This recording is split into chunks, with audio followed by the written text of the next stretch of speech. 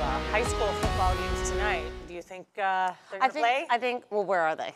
Fort Myers? Oh, I think Fort Myers will be okay. We have some storms that are quickly moving, so if there is a rain delay or a lightning delay, it's not going to last for too long. These storms are moving at about 15 to almost 20 miles per hour.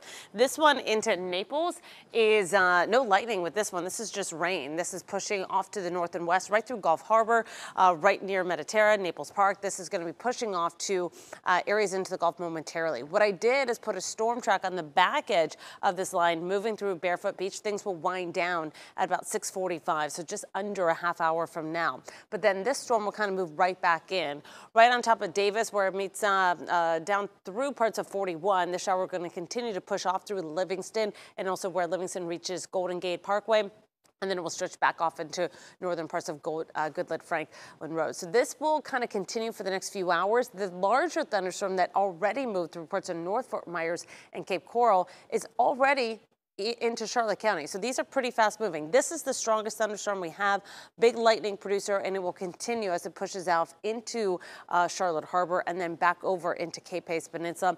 This line right here is about a 45 minute line. So just south of Rotunda within the seven o'clock time frame. We could still have a few more storms develop around Fort Myers, but like I mentioned, anything that does develop is not going to last the entire night. Here's the wider view to kind of give you a perspective of where the showers are. There's not many. There's only about a handful. Again, strongest one moving into Charlotte County as we speak. Fort Myers dry for now, but a few lingering showers based on the boundaries that are still occurring still in the cars. Boy, is it dark out at Cape Coral from the view here. Temperatures are at 90 degrees. It feels about 99. You didn't get that rain-cooled air for today. For tomorrow, rain chances are going to hold off again a little bit later. By 4 o'clock, rain chances will pick up around the region and then linger into the night.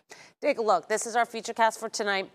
By 8.30, we could still have some showers around Fort Myers, around Cape Coral, stretching down 41. I think this might be overdoing it just a bit, but keep in mind, the rain showers will be the bigger story versus the lightning for tonight, except for that one storm moving into Charlotte County. For tonight, uh, we'll see those storms kind of fade away. Once we head into tomorrow, very similar to today where we hold off until about 3, 4 o'clock to get any significant downpours around the region. This is 4 o'clock and then things start to become a lot more abundant when we're trying to go to Friday Night Football. Friday, 5 o'clock, isolated downpours around Lehigh. Then once we head to sunset and thereafter by 6.30, downpours through Cape Coral, up through Babcock Ranch, and by 8 o'clock, it's lingering along the coastal spots. So that's where we might run into some problems for Friday Night Football. Different story on Saturday. Saturday and Sunday will be their own separate days. I know it's the weekend, but also a little bit of a change of pattern. More onshore flow will limit rain opportunities along the coast and push them inland. So by Saturday, 6 o'clock, Note a lot of the rain showers and thunderstorms are going to be for Glades and Hendry County, but that could also give us the possibility of some morning showers along the coast. So kind of a flip-flop of a weekend for Saturday and Sunday. Rain still there, but not for everybody. What to expect in the tropics? Not much for us. Our biggest development chance is this guy, this little tropical wave that's pulling away from the United States. Nothing is threatening Florida. Nothing is threatening the United States as far as any tropical development. We could see a ton of rain from this area that's just bringing some tropical disturbance and kind of some messy weather through parts of Louisiana.